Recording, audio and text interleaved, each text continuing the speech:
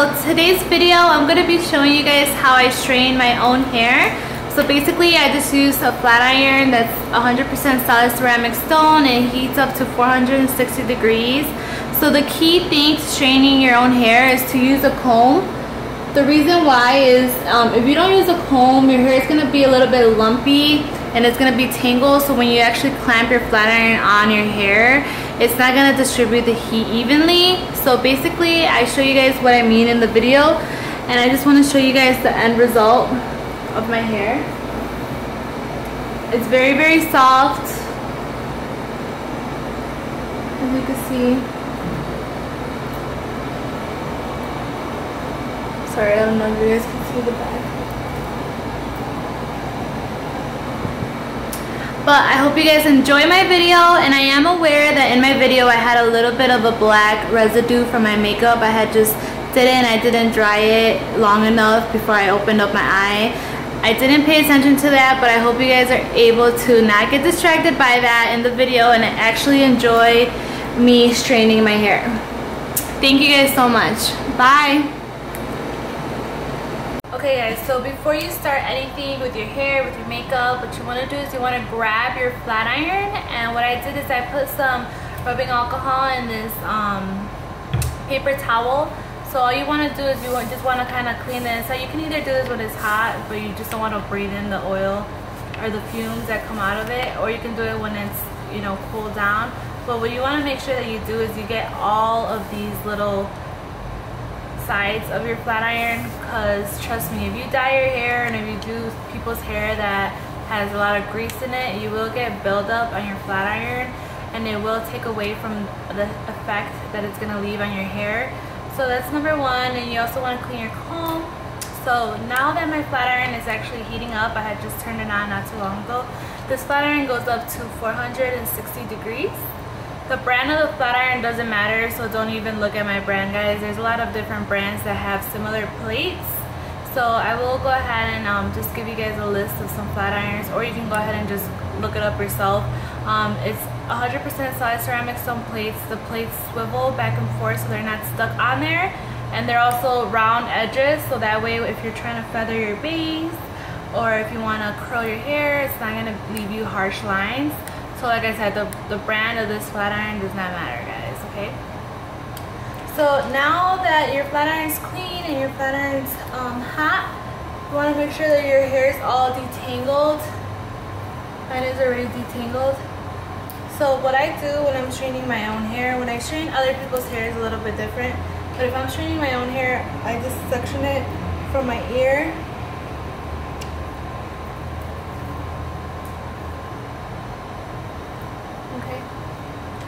So I section it from my ear down and then I split it in half because then I will work on this side and then I'll work on the other side. If you have really, really curly hair, you can take smaller sections. And I will also show you guys how I strain other people's hair. I'm going to do my mom's hair. So what you want to do, you see how I pass the comb first? Basically what that does is it's gonna separate each individual strand. I'm gonna show you guys. I'm not done with the other side, but I wanna show you what it does. Okay, so you see how it separates it like that? So when you're passing your flat iron through it like this, it's gonna leave you a very um, good flat surface instead of just grabbing your hair like this. It's gonna be all bulky on your flat iron, so that's what you wanna do. So let me go ahead and show you guys how I do it. So I just grab pieces. I make sure to comb them through so it's nice and separated. So that way when you go ahead and put in your flat iron, it's nice and flat.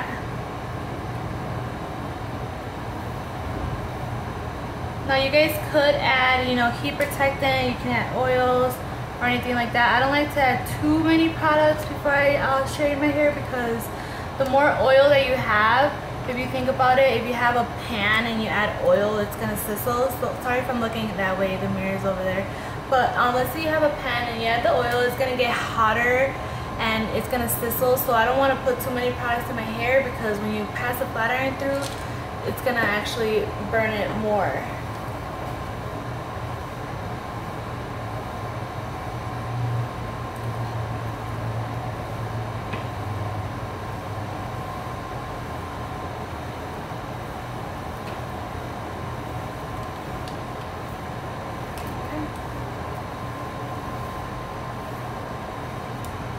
Once you have that done, you can also like just combine both sides together and just go in one last time through the middle. And I will show you guys how my hair looks up close once I'm done. So now, you just want to let your hair down. The next section that I grab is by my ears. So just go ahead and grab another section of your hair. Like I said, you guys can section it more or less depending, sorry, how depending on how much hair you guys have and if it's curly or straight. So, um, I just keep doing the exact same thing in my hair. I know what my hair feels like when it's straight and when it's not, so basically when I'm just putting my thumb underneath, I could feel which parts of my hair is straight and which parts is not. Now, um, on my next video, I'm going to show you guys um, this comb that I have as well. I just wanted to do this video with this cheap comb so you guys see that it's not really necessary for the other comb, but it will definitely help you because instead of using your thumb underneath, what the other comb does is it kind of grabs it like that, so it's like a hair straightening comb. And you see, I can do it with my fingers too, but the key is to separate your hair so it's nice and flat when you're running it through the flat iron. Okay.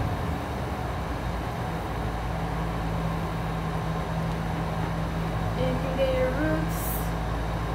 My hair is not super curly, so I don't have to be all in my roots too much as you can see.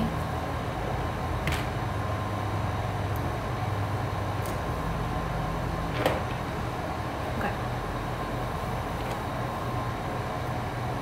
So it's basically all you want to do. You see how I'm putting the comb? And it's going to separate each individual strand instead of doing one big old clump.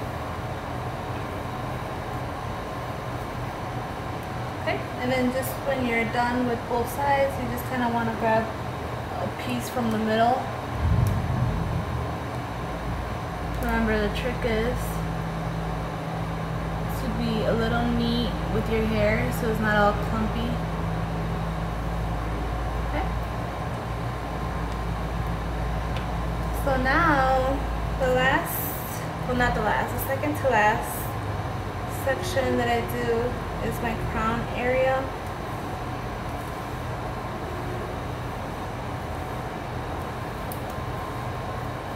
You guys can either use um, a hair tie or you can use like a clip or anything like that.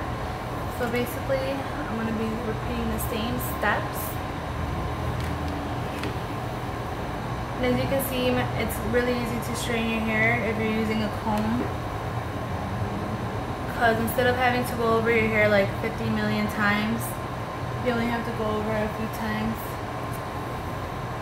And my hair is not curly, but it's like poofy.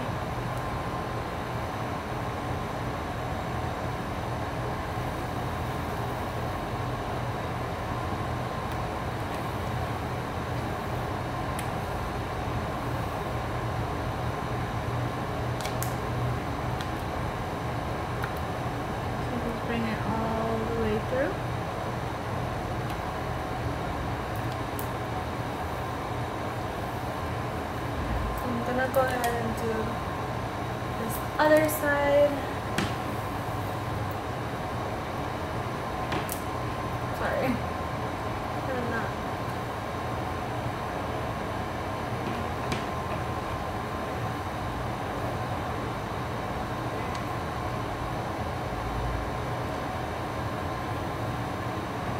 So if you grab a lot of hair, you might have to go over it more than once. I'm just grabbing big old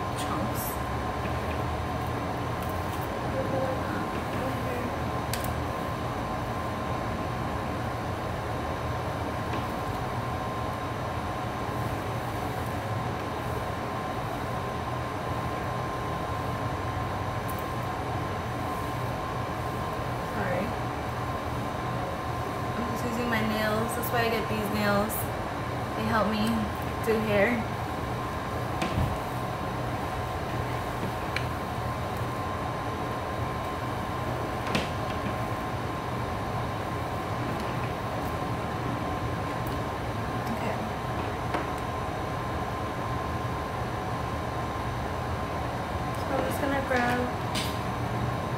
Back little part because I did not get that at all.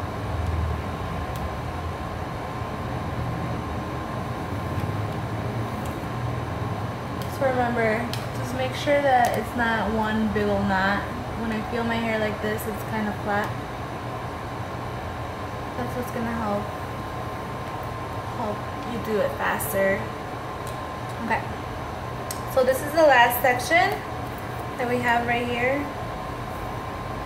So what I do is I just kind of part it. Doesn't have to be nothing, nothing exact. This is not how I part my hair, guys.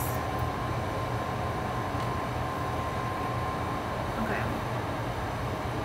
So I'm just gonna show you.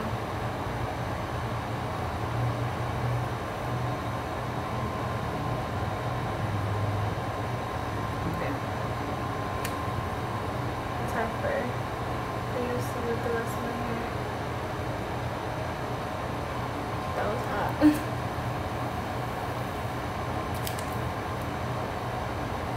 so because I'm not being really precise with it, I'm just kind of going over it really fast. But I'm just showing you guys a quick way that I do my hair. It's only been 10 minutes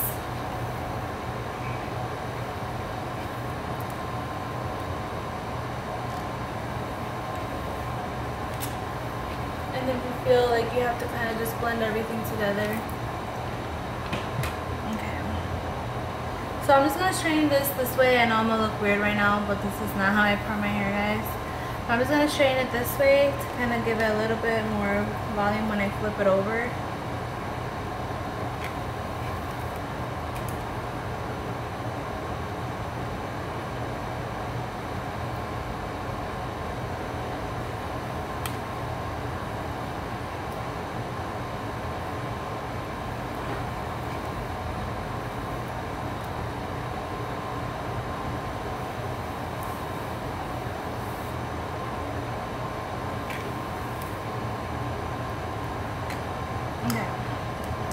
So I don't really have a specific part. I either just kind of flip it like this. And there's a few different things that you can do when your hair is straight.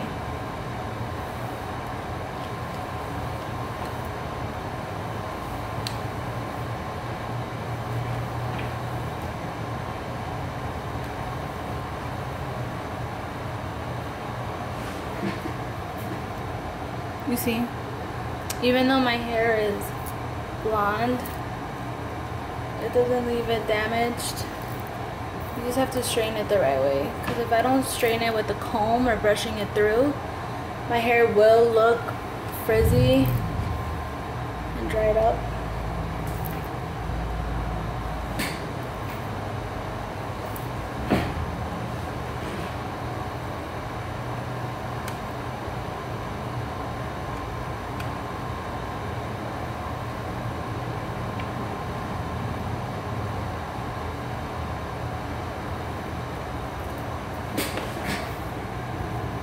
can just grab you can just grab all of your hair and make sure that it's nicely blended.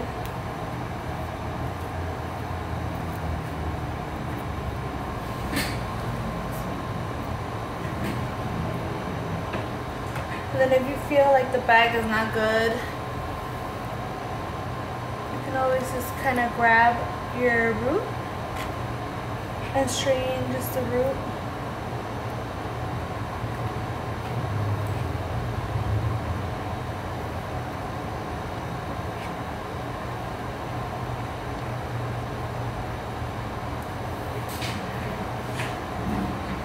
the back of my hair. Pretty straight. and it feels really really soft you guys saw.